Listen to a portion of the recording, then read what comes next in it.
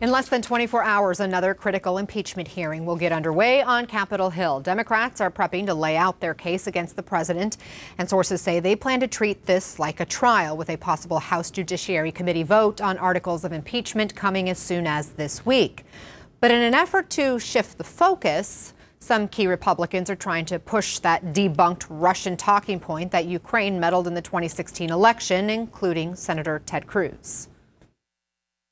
Russia clearly interfered in our in our election, but here's the game the media is playing because Russia interfered. The media pretends nobody else did. Ukraine blatantly interfered in our election.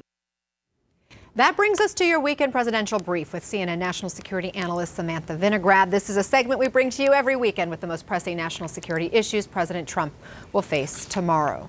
So, Sam, Trump's former top Russia advisor Fiona Hill testified that the idea Ukraine, not Russia, interfered in our election is a quote, fictional narrative perpetrated and propagated by Russia. Can you break down the security implications of people like Cruz continuing to push out this debunked message? Ana, Putin hits a home run every time Republicans further this fictional narrative. We have an intelligence community, and guess what? It's not based in Moscow. Our own intel officials have warned lawmakers that Russia is engaged in a campaign to frame Ukraine for 2016 election interference, but Ted Cruz and others are relying on Russia's assessment rather than our own intelligence community. That undercuts our own experts. At the same time, propagandizing for Putin really detracts from our ability to counter Russia's information warfare. Putin used to have to pay bots and trolls to spread Russian lies. Now he can just count on Cruz. And finally, Ana, when Cruz and others further this Russian talking point, it detracts from another vital interest, which is supporting Ukraine. And this couldn't be happening at a worse time. Tomorrow, Ukrainian President Zelensky is meeting with Putin for the first time to engage in peace negotiations related to the conflict in eastern Ukraine. But he's entering those negotiations at such an advantage. Putin knows that Trump was willing to put security assistance, which, by the way, is used to deter and defend against Russia. Trump was willing to put that on hold. And now we have American lawmakers, Republicans, indicating that Ukraine interfered in our elections. Another lie. So Zelensky is entering these negotiations from a position of weakness vis a vis Vladimir Putin. Meantime, President Trump is tweeting today about another country's leader, North Korea's Kim Jong un, and, and he said Kim doesn't want to interfere in our elections. What is he talking about? Well, it is very unusual to hear President Trump say that he doesn't want a country to interfere in our elections. But we do know that Trump and his campaign and the administration have used this fantasy of denuclearization as a success story, both on the campaign trail and for the administration more generally. But on a denuclearization isn't a reality. It isn't even a pipe dream. We had the North Korean representative to the UN say that denuclearization is no longer on the table.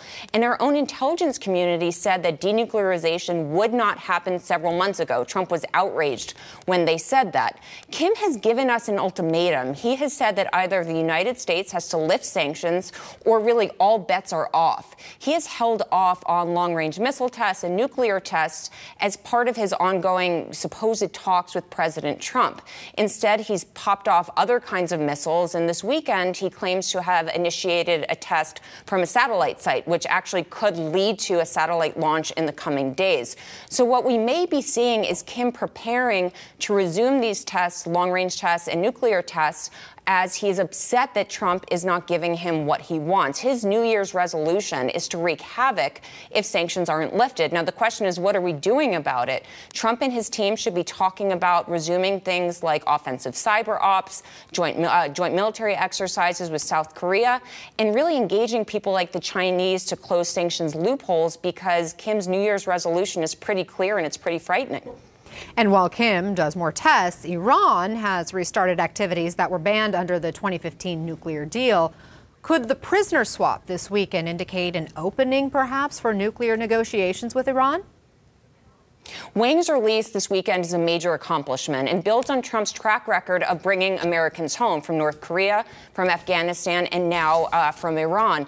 It is clear that the United States and Iran are capable of engaging in secret negotiations. Those secret negotiations, facilitated through the Swiss, led to Wang's release this weekend. And that's important because there are also other Americans still detained in Iran, Ana. So the U.S.